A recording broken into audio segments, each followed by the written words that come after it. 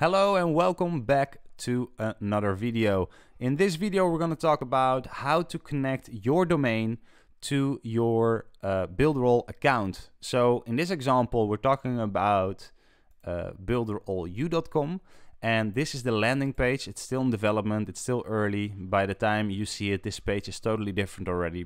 But what you have to look at is this randyhereman.ob10.com slash builderall101. This is where you have to send your people to, and this doesn't look that nice. We want people to go to builderallu.com and actually land on this page. So here's how we're gonna do it. We're gonna go to Builder, and I'm gonna go to drag and drop site builder, my sites, and then here you can see all these sites. First you have to make sure it's active, and in this case it's already active. That's why we could have gone to this website. And what we have to do now is we go to more options and we press connect domain. If you go through the steps, you will see that you have to connect your name server to point towards the server of Builderall. And how we're gonna do that, in this case, I host it on GoDaddy. So we're gonna select the name server. And if you look good, we can say copy if you look, it says ns2.l4dns.com and this is ns1.l4dns.com. So I only have to copy it once and then change the one into the two and I am done. So I'm gonna go to GoDaddy.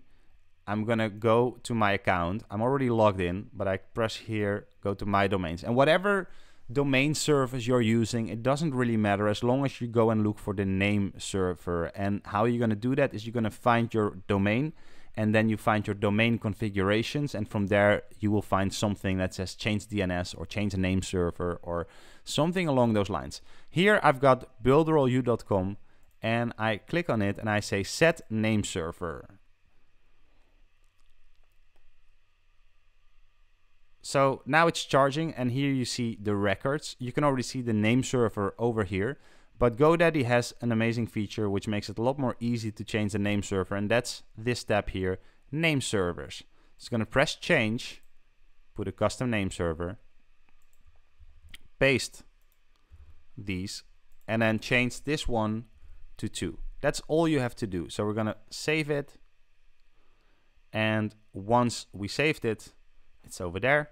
We go back to our um, yeah, Builderall admin office.